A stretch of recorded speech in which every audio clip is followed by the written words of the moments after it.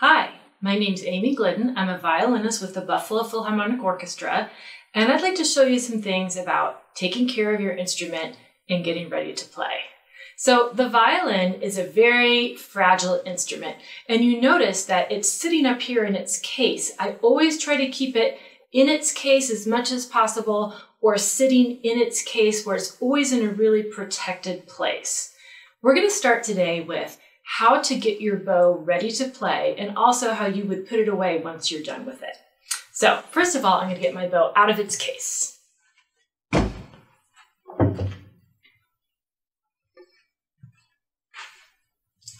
The first thing I do with my bow is I tighten it.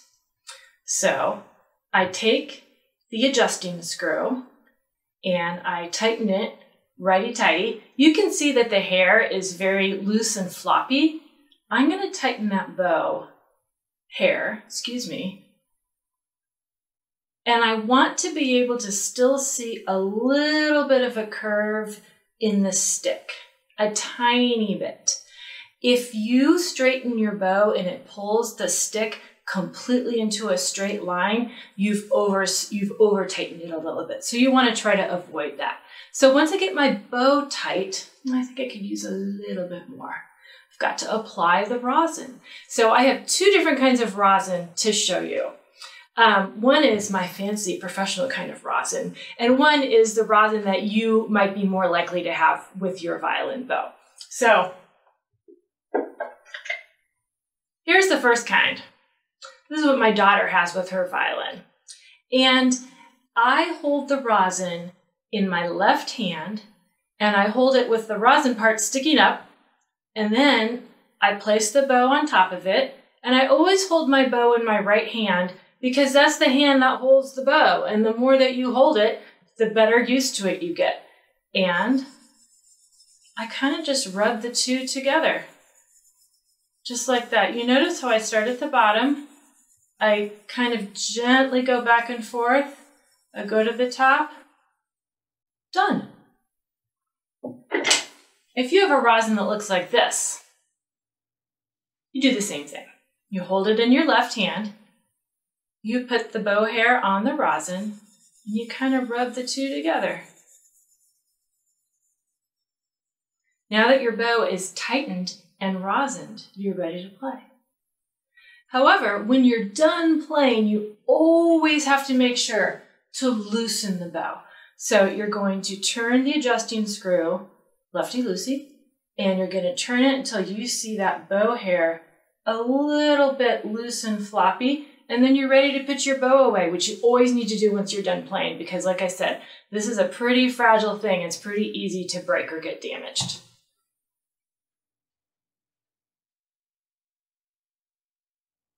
Let's talk about getting your violin ready to play. You notice my violin is sitting up here in its case. My violin is either in my hands or in its case. So let's take that violin and get it ready to start playing. Now, probably most violinists are going to be using a shoulder rest for their violin. So let's talk about how to put that on. I have two different kinds to show you. The point behind using a shoulder rest is to support your violin and make it comfortable to be on your shoulder. So any shoulder rest usually has sort of a fat part and a skinny part. And the skinny part goes right above your shoulder, and the, far, the fat part would go down more onto your chest area.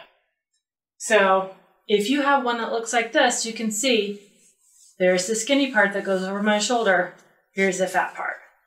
It's going to sit like that. Or if you have one that looks like this, you see it's got this indented curve right here. That's the part that curves over my shoulder. And then this part supports more onto my chest area. So when you go to put this on your violin, you have to hold your violin very carefully and you have to turn it over. Now, one thing people don't always realize about the violin is that all the elements of the violin, the bridge, the tailpiece. These are not glued on in any way. They are held up by um, pressure and also they're placed very carefully and any change in them can really affect the sound and the workings of your violin so you don't want to lay your violin ever down on the ground or even on your lap just like this you want to try to hold it and support it like this so then you're going to make sure that the skinny part of your shoulder rest goes towards the G string side of your violin. And also, you could say it's going to be the same side of your violin as your um, chin rest. So here we go. I'm holding it carefully. I'm not squishing any of the parts here. I'm putting this on, I'm sliding it on. There we go. Shoulder rest, ready. Let's try the other kind. So here I am. Usually there's some type of rubber band situation going on here. So let me get the rubber bands on. And it's going to be the same kind of a thing. I am going to get these rubber bands on here. I'm going to turn my violin over, very carefully hold it, and I'm going to make sure that the skinny side goes towards the G string or the chin rest side of my violin. And then I'm just going to place it underneath these rubber bands. Done. Probably one of the biggest things I see about getting the violin ready that's going to help it's going to hurt your playing is what it's going to do is people turn their shoulder rest by accident the wrong way so they end up putting the fat end to where it would be right on your shoulder and the skinny end where you need more support right here and then it feels awful and your posture will be affected. So you want to be really careful when you put on your shoulder rest. So now your violin would be ready to play. Let's talk about what you do once you're done playing. You're going to take off your shoulder rest carefully and you're going to get your violin ready to put back in its case. And one other element that you should always do take a cloth and clean off the rosin. When the rosin builds up on your violin, it's just, it's not good for the violin and it also makes the violin not sound as good. That sticky residue, it kind of coats the strings and it affects the sound of your instrument. So always clean it off. Here I am, I'm going to put it back in the case.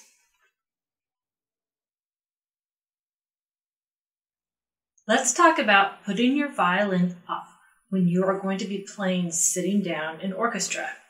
So, whenever we place our violin, we want to think about it as extending over the left side of our body. So, the first thing that I do is I make sure I sit down and I have a straight back. I don't lean back in my chair. And I'm going to extend my violin out over my left knee. I'm to flip it and then I'm to place it. You notice that the violin is at a right angle to my body, and you want to try not to twist it. Don't do that. Don't do that. It can be a little tricky to read music and have your violin in the proper position. A lot of times I see people, and let's say the music stand is right where this camera is and they're doing this. That's really not so good. You want to get used to holding your violin out at the proper angle, and you're going to have to turn your entire body so you can look at your music and also look down the fingerboard at your violin. I'd like to show you good violin posture when you are standing to play. The first thing that you want to do is stand with your feet just a little bit of a distance apart. And then you always want to think about having your violin out over your left foot. So the first thing that I do is I extend my violin out over my left foot.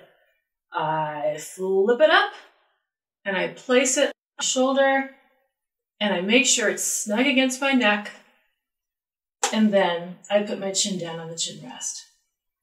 All right, you notice that the violin is at a right angle with my body. And one of the things I do to make sure I have a really good placement of my violin is I'm going to put my arm down and see if it's comfortable to hold.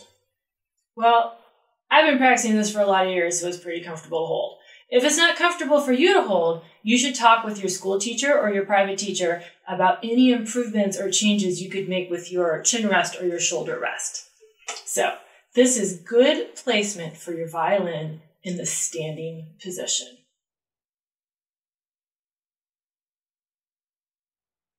Let's practice making our bow hold and holding the bow.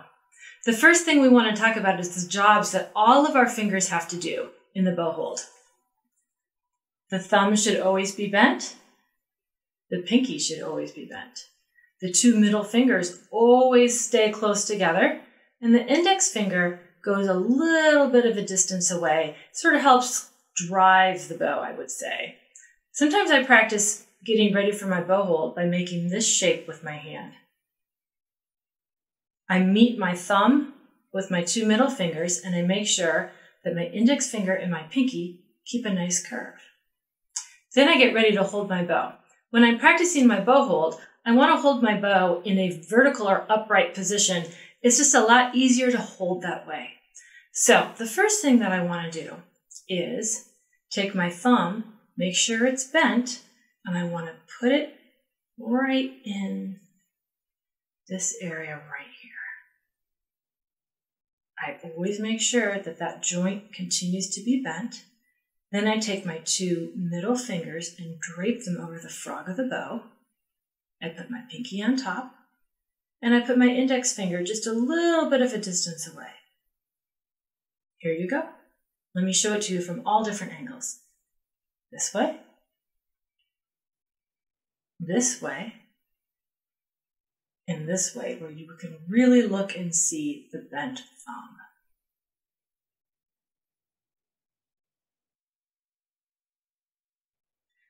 Now that I practiced preparing my violin and my bow for playing, and I made sure and checked my violin posture and my bow hold, I'm ready to put the two together and get started playing. So the first thing I'm going to do is make sure I'm standing with my feet a little bit apart, and I'm going to place that violin so it's extended out over my left foot. And I'm going to get my violin hand, my left hand, in the correct posture for playing. You notice that my elbow is pointing straight down towards the ground. It's not twisting one way or the other. And that my fingers are curved and ready to play. I had already made sure my bow grip is ready to go. And the first thing I like to do is I like to put my bow right on the A string. You notice I put it so it's right in the middle between the fingerboard and the bridge. That's the place where your violin sounds the best. And when you're playing, you want to try to keep your bow right on that track, and that way you're going to get the best sound. You also notice that I've put my bow on the string, sort of the middle of the bow, so that I have a right angle in my bow arm. And that's a really nice, comfortable position to get started in. All right, let's play something.